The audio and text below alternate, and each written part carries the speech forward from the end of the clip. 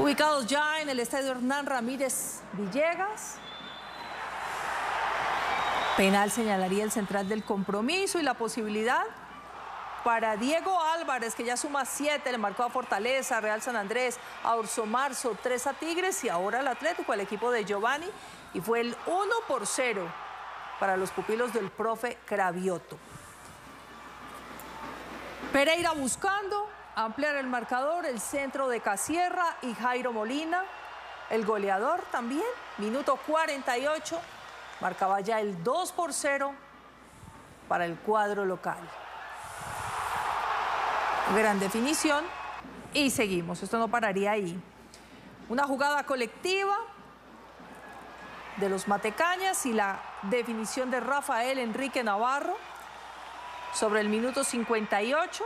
Desde el 2013 viste la camisa del conjunto Matecaña y ya son 22 anotaciones. 3 por 0 estaba la historia acariciando el Deportivo Pereira su sexto triunfo en la liga. Y no pararía ahí esta historia. Minuto 68.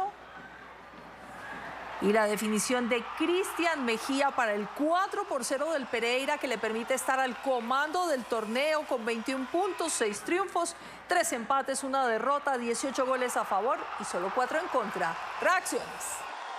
Fue un partido bastante difícil a pesar de que es, es el último, pero es un equipo joven, que juega bien, que es rápido y que bueno, que tiene que seguir mejorando. Necesitamos esa solidez nuevamente de la parte defensiva, que no la habíamos tenido. Pudimos otra vez volver a la victoria, ante, insisto, ante un rival difícil, que no podíamos eh, conectarnos todavía bien con los de arriba.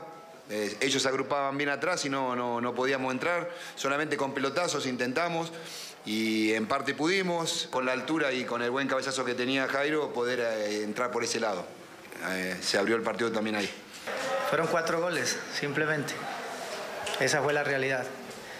Dos goles que ellos hacen a nivel de combinaciones, los dos últimos, y de interpretar muy mal, o sea, no conceptuar bien en estos muchachos que, están, que son jóvenes y que eh, muestran ingenuidad en un momento dado y por ende con un equipo grande y con tanta contundencia, pues logran hacer y hablo de los dos goles pues que a nivel de combinaciones hizo.